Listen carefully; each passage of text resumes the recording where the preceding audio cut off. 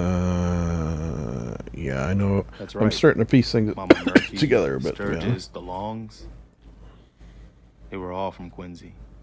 I was with Colonel Hollis's group. I think um, group called Mike Mitchell. was attacking You Quincy. familiar of Doughboy's People? He's also from Quincy. To help. We were the only ones that came.